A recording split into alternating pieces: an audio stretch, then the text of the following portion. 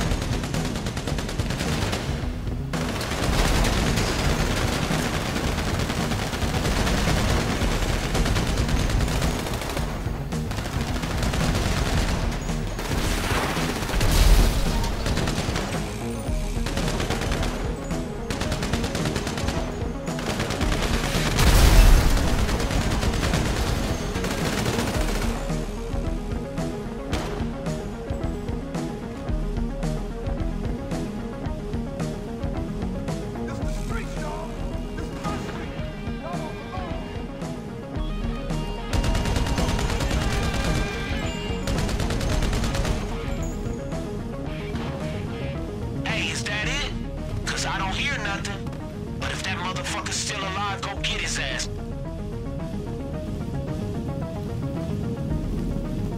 Ah, ah, get the fucking hands off. Ah.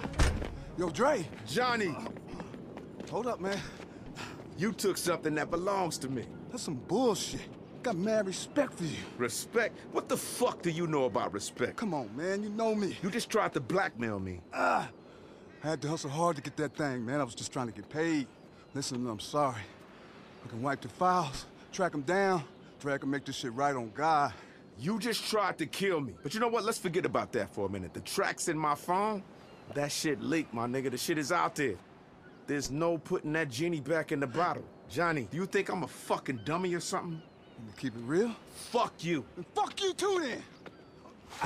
Watch your fucking mouth. Take your ass back to the golf course, motherfucker. This the streets.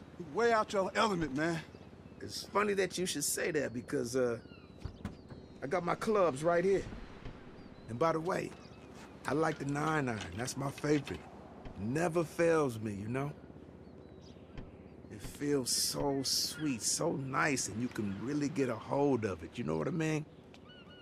Now that's a great club. And I tell you what, man. Bitch! Ass! Motherfucker! I don't even feel bad anymore. The demos are out there and there's nothing I can do about it. And you know what? Turns out, hey, golf does put me in a better mood. All right, can you give me a ride home? I got something I want you to hear. Let's ride. Hey, listen.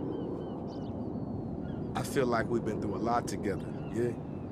But this shit, this shit right here, it's put a lot of stuff in perspective for me. Jimmy was right. I've got to stop holding on too tight. I've got to start putting some of these demos out that I've been working on for so many years. You have no idea how much shit I've got. But you want to hear something? Okay. This is a world premiere right here, right now.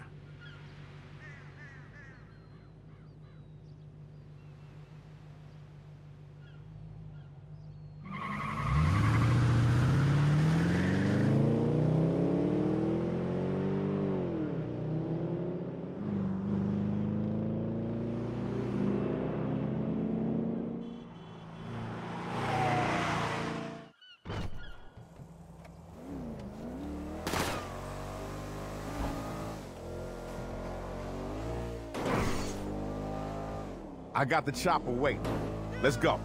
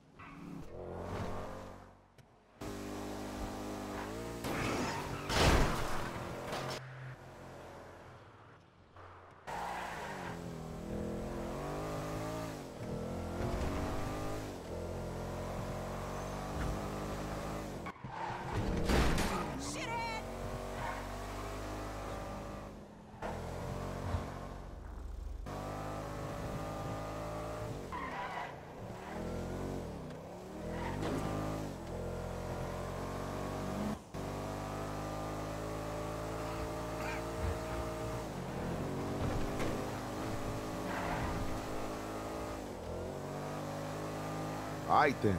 Take it easy.